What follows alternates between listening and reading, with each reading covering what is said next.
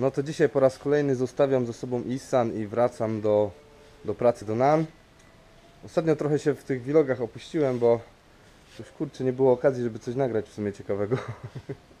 Także e, tak jak kiedyś chyba już Wam mówiłem, pomiędzy NAN, czyli tutaj gdzie jest, e, gdzie mieszka, mm, gdzie jest dom rodzinny Nung i mieszkają mnie rodzice, a a pomiędzy moim miejscem pracy w linii prostej jest 200 km, ale nie da się przejechać w linii prostej, bo po drodze jest Laos, taki cypelek Laosu wchodzi e, i trzeba jechać naokoło niestety. E, Zresztą nie tylko Laos, bo tam też są góry i w ogóle jest ciężka droga by była tamtędy.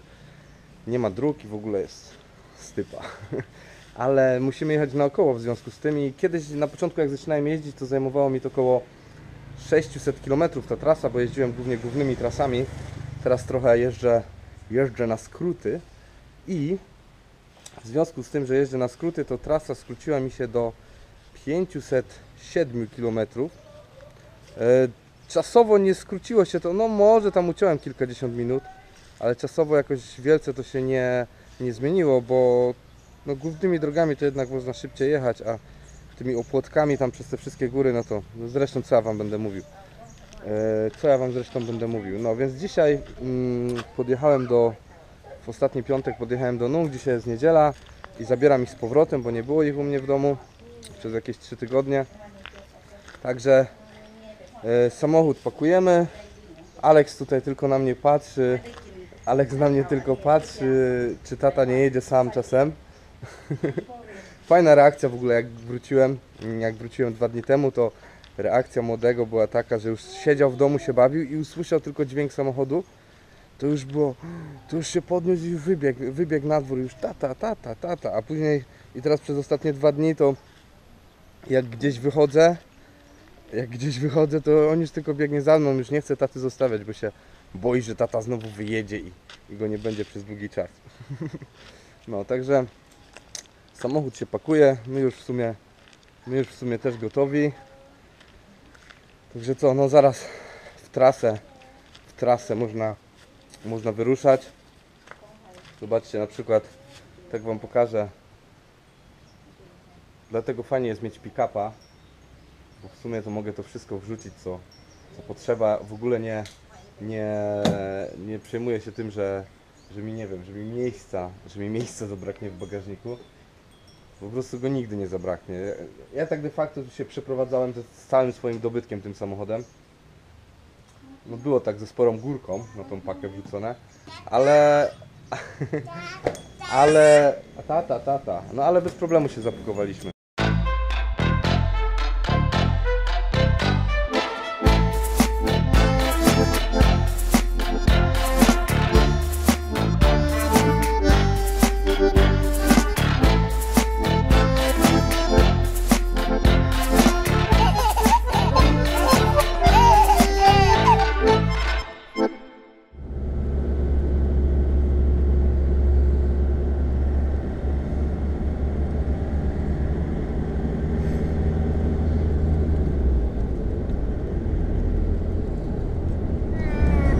Się wszyscy się pobudzili. Mamy machnięte jakieś 385 km e, przez jaki czas? Przez ile? Ile my to jedziemy? 5,5 godziny. 385 km przez 5,5 godziny. Ła! Ale z nosa wyczyść nos! Big mama, help Alek clean.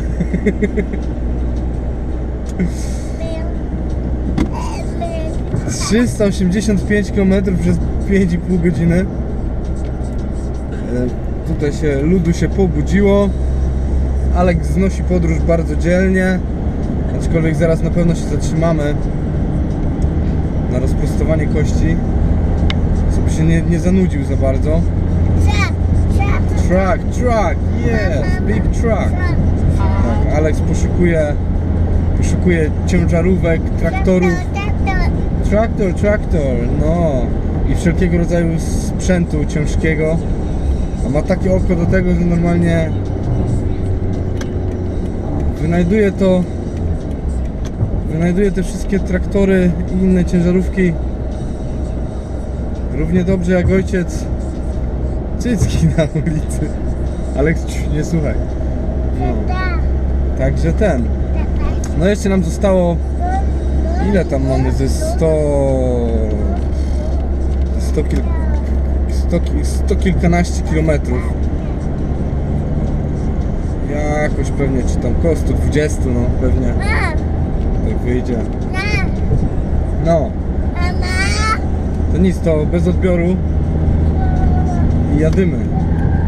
Zobaczcie jakie tutaj walnęli te antypoślizgowe na drodze, takie, e, takie czerwone badziewka. Aleks usiłuje pić mleko, bo droga jest akurat z takich płyt betonowych. Dobra droga, ale no trochę tak, trochę trzęsie. Na szczęście to tylko kilka kilometrów czegoś takiego, a później wraca asfalt. I to niezły asfalt, bo jeśli już przy drogach jesteśmy, jak już jadę w tym samochodzie, jak już jadę tym samochodem, to już Wam coś powiem o tajskich drogach. Ogólnie te trasy główne, te takie najbardziej uczęszczane, są naprawdę niezłe. Yy, Jeśli chodzi o samą nawierzchnię i tam z reguły są przynajmniej dwa pasy, no naprawdę, naprawdę, naprawdę niezłe są te trasy. Te mniejsze, no to różnie bywa, w zależności od regionu, to tam no różnie bywa. Tutaj u mnie na północy na przykład, tutaj gdzie mieszkam na północy, u mnie na północy, bo pomieszkał 3 lata na północy, już jest u mnie na północy. E, tutaj gdzie mieszkam, e, to są te trasy, te drogi lokalne są też w miarę w porządku, ale z kolei tam u nóg rodziców e, e, w północno-wschodniej Tajlandii, no to te drogi lokalne, no to no może skończę, skończę na tym, nie będę się wypowiadał nawet. E, No tak to wygląda. A jeśli chodzi o samą infrastrukturę tutaj, taką jak to wygląda tutaj, organizacja pod względem bezpieczeństwa tego, no te autostrady są jeszcze w miarę, ale te drogi wszystkie, nawet tutaj, tu, które ta jadę, ta kra, krajówka, to mimo, że szerokie, no to, to tyle co szerokie, no. Ale jeśli chodzi o bezpieczeństwo tych dróg, w sensie jakieś bezkolizyjne skrzyżowania czy coś, to raczej można, można o tym zapomnieć. Raczej jest wszystko, typu są U-turny, czyli nawrotki, których nienawidzę. Yy, Skrzyżowania normalnie jak już ze światłami, albo w ogóle skrzyżowania bez świateł. Także no trzeba, tr- trzeba troszkę, troszkę uważać. Tym bardziej, że nie wiem czy kiedykolwiek widzieliście w statystykach, że tajskie drogi są bodajże pod względem, jeśli chodzi o niebezpieczeństwo, to są na drugim miejscu na świecie tam chyba, jeżeli, nie pamiętam już co tam było, jaka to była ta statystyka, jeśli chodzi o liczbę zgonów na tysiąc mieszkańców czy coś, nie wiem, musiałbym sobie odświeżyć te statystyki. Zapamiętałem tylko tyle, że są e, na drugim miejscu tam, po czym to było? Też już nie pamiętam, ale coś tam, coś jakieś w Afryce coś.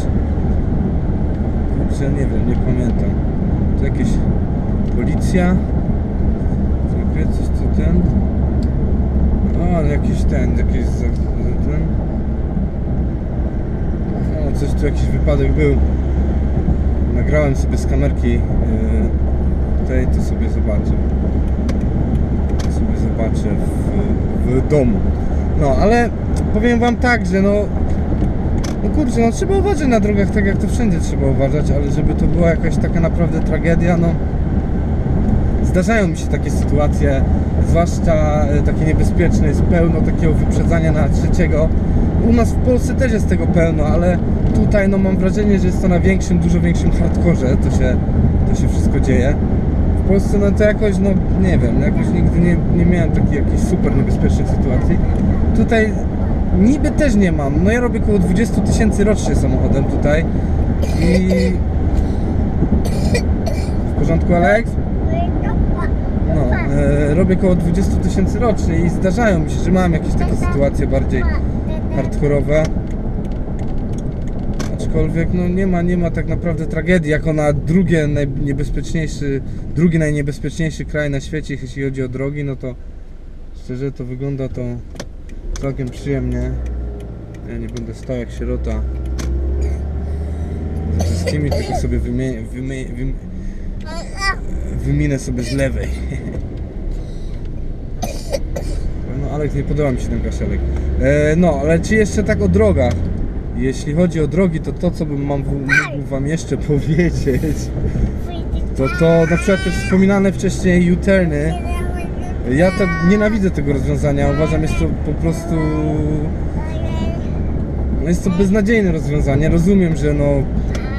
Może podyktowane jakąś wygodą, bo przez to na tych trasach, wiecie, z pasem zieleni po środku czy coś, no to nie trzeba jechać kilometrów, żeby zawrócić, tylko macie U-turn, co tam co kilkaset metrów i, i gra i buczy. No, tylko no jest to podyktowane trochę, nie wiem, wygodą, lenistwem, ale jest to o tyle niebezpieczne, że po prostu jadąc sobie tak jak ja, bo jadę sobie prawym pasem, czyli w Tajlandii jest ruch y, lewostronny ja jadę sobie tym prawym pasem, który jest szybszy i na przykład nagle wbija mi się przez, przed machę koleś, kurde, z lewego pasa, który jedzie dużo wolniej i wbija mi się przez machę, bo on przed machę, bo on chce zjechać na jutę, nie? Także no kurde jest, to, jest bardzo dużo wypadków też przy tych, przy tych nawrotkach yy, bo tu ludzie zawracają, to nie, nie, nie widać dobrze, to ten no wiecie, no kurczę różnie, różnie to Czyli ja tego na przykład bardzo, bardzo nie lubię a jeśli chodzi na przykład o to jak jeżdżą sami Tajowie, no to mam trochę wrażenie, że no im większe miasto, tym jakby to wygląda lepiej. Na tych wsiach to, na tych wsiach to kurczę mówię wam, jak u mnie zrobili pierwsze skrzyżowanie ze światłami takie większe, to ludzie się gubią do teraz, nie wiedzą jak mają tam jeździć. Wynika to też bardzo z tego, że wielu tajów jeździ bez prawa jazdy,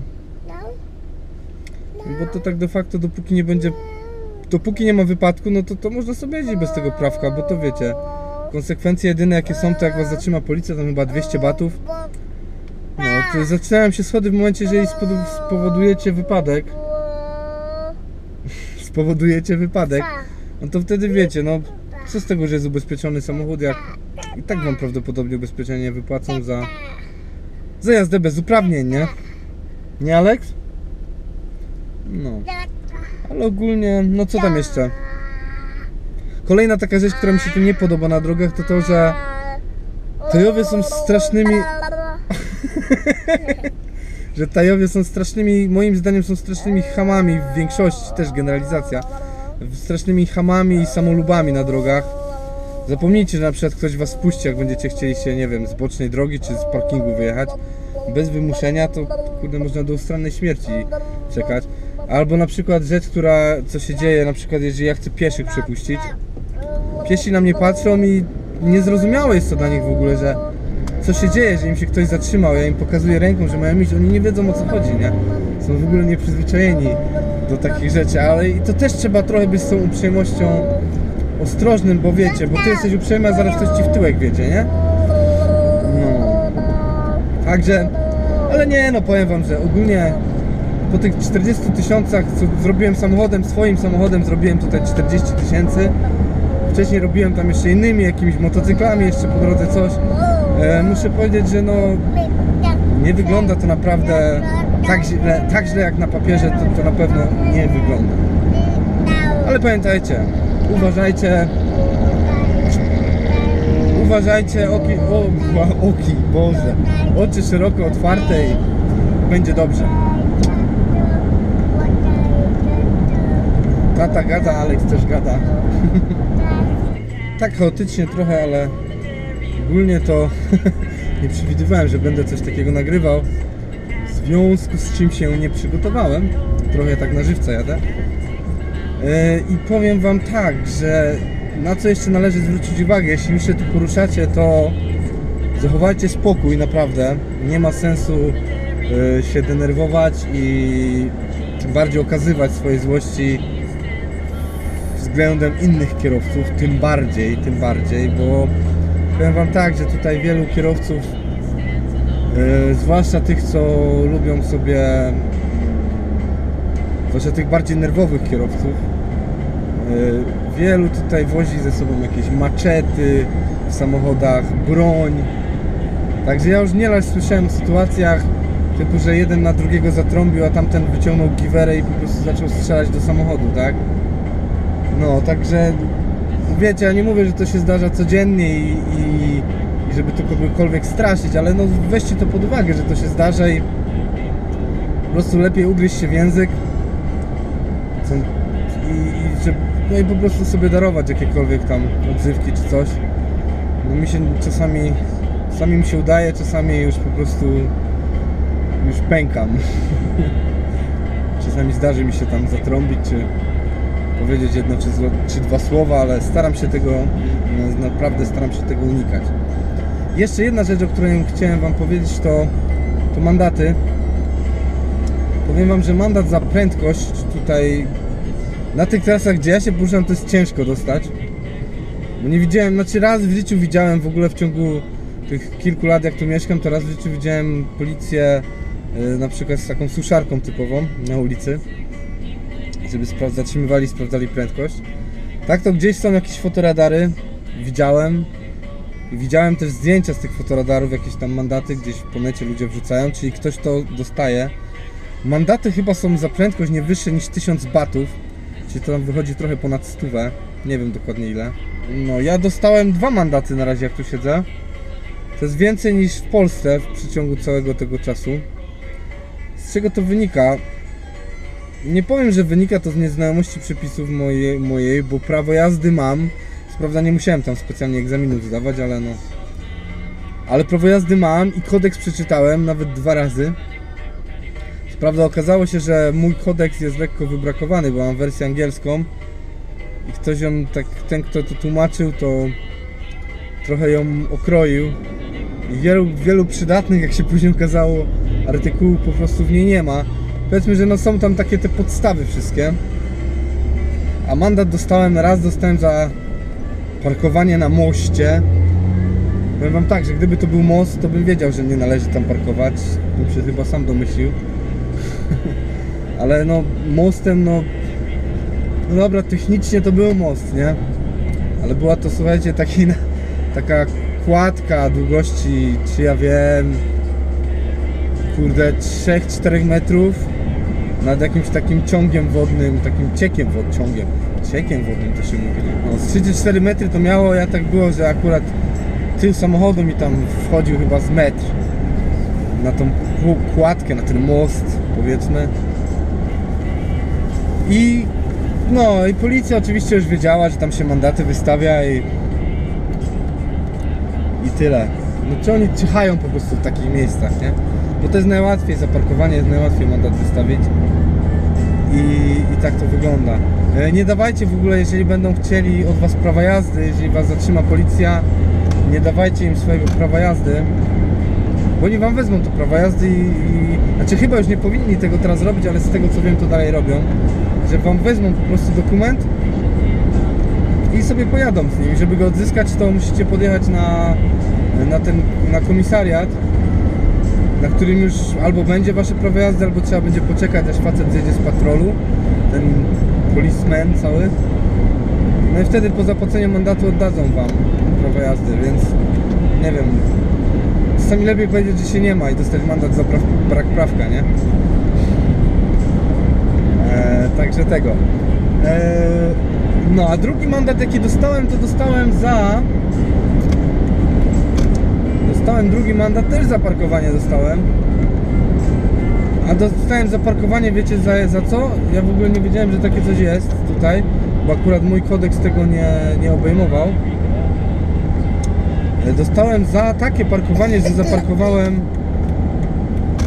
e, przeciwnie do kierunku ruchu, czyli jakby wiecie, to jest ruch lewostronny, czyli jakbym zaparkował sobie po lewej stronie drogi przodem tak jak powinno być, to było ok, ale ja zaparkowałem ruch jest lewostronny, a ja zaparkowałem, jadąc lewą stroną sobie zjechałem na prawą i zaparkowałem sobie prawą stroną, także zaparkowałem jakby tak pod prąd.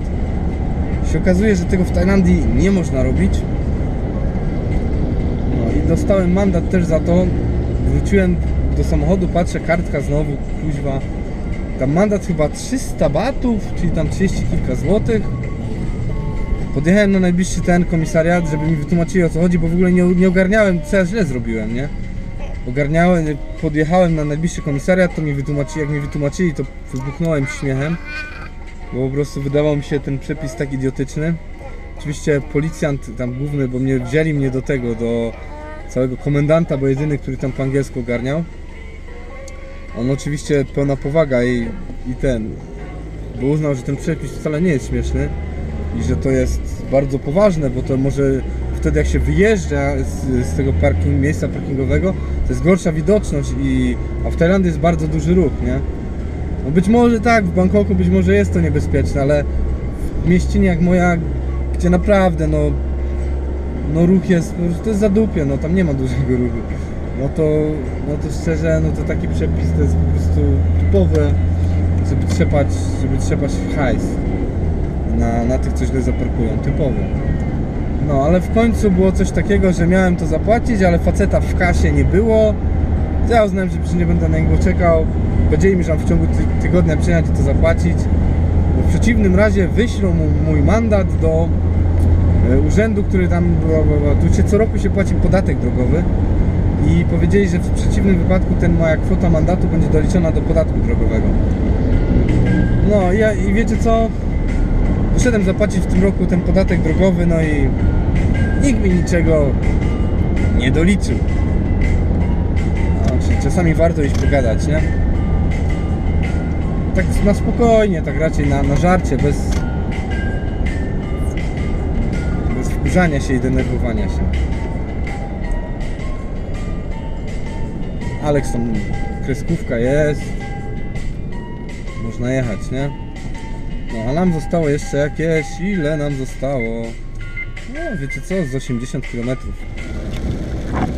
No to się dotrzepaliśmy na miejsce. Deszczowa pogoda nas wita. 507 km zrobiliśmy dzisiaj po tych pięknych tajskich drogach e, w 7 godzin 11 minut. Czyli średnia jakieś średnia jakieś 71 km na godzinę.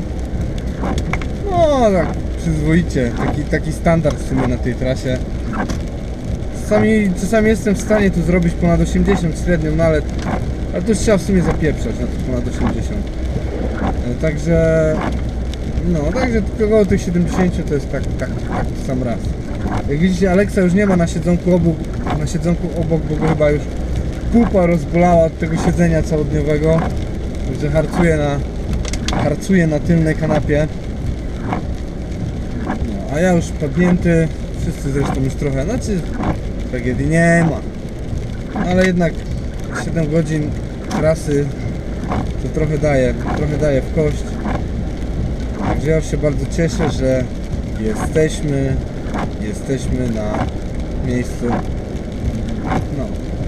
Nic, to już chyba chyba wszystko na dzisiaj.